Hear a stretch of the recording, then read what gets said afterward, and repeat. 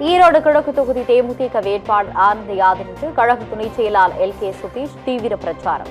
வீதி வீதியாக சென்று முரசு சின்னத்திற்கு வாக்கு சேகரிப்பு.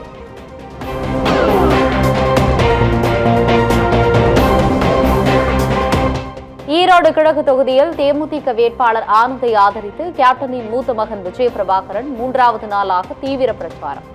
செல்லுமிடமெல்லாம் ஆரத்தி எடுத்து மாலை அணிவித்து பொதுமக்கள் உற்சாக வரவேற்பு.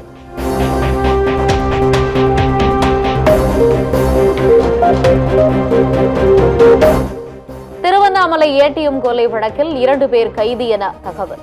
செல்போன் சிக்னலை ஆதாரமாக வைத்து தனிப்படை போலீசார் விசாரணை.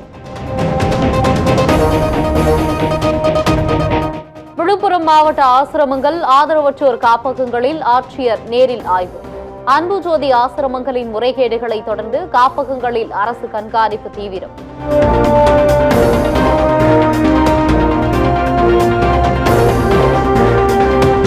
சதுரகிரி மலைக்கோவிலில் நாளை மகா சிவராத்திரி விழா.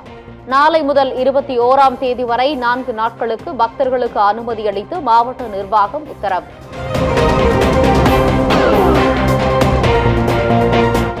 வெளியூர்களிலிருந்து சென்னை வரும் அனைத்து பேருந்துகளையும் தாம்பரம் வழியாக இயக்க வேண்டும். போக்குவரத்து கழகம் அறிவுறுத்தல்.